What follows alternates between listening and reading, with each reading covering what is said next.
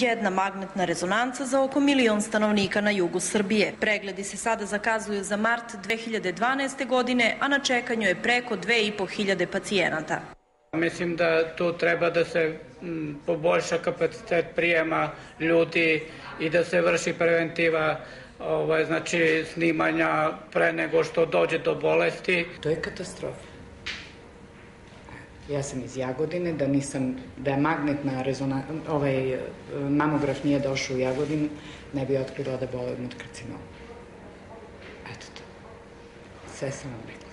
Od kada je ombudsman zabranio dopunski rad lekara u kliničkom centru Nišu uz obrazloženje da Ministarstvo zdravlja nije utvrdilo da klinike u sklopu kliničkog centra ispunjavaju uslove za dopunski rad, pored magnetne rezonance pacijenti sada čekaju i na drugim klinikama. Duga je lista čekanja na očnoj klinici za operaciju katarakte.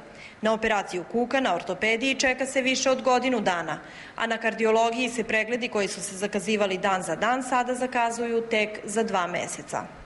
Najveća i te najteže posledice su te da pacijenti ne mogu na vreme da izvrše preglede, da posledice mogu da budu e, tragične i ako vi posle 8 meseci e, dođete do neke dijagnoze, pogotovo kod e, teških bolesti, karcinoma, metastaza, apsolutno taj period može da bude kasni. Ilić kaže da je dopunski rad lekara bio samo privremeno rešenje i podsjeća da od početka godine lekarima nije isplaćeno to što su radili posle 8 uveče i vikendom. Trajno rešenje po njegovim rečima bilo bi kupovina novih aparata koji u poređenju sa ljudskim životima i nisu toliko skupi. Zaista nedopustivo da u Nišu postoji jedna magnetna rezonanca na teritoriji gotovo preko milion stanovnika, da opština i grad Leskovac, odnosno zdravstveni centar Leskovac, zdravstveni centar Vranje nemaju magnetnu rezonancu i da pacijenti iz celog ovog dela Srbije dolaze u Niš. Mislim da je to nedopustivo i da moraju da se nađu i sredstva kako bi se u redovnom radnom vremenu van, van dopunskog rada pacijenti dobili na vreme adekvatnu zdravstvenu zaštitu. Prošle godine, kada je magnetna rezonanca radila gotovo bez prestanka, pregledano je oko 15.000 pacijenata.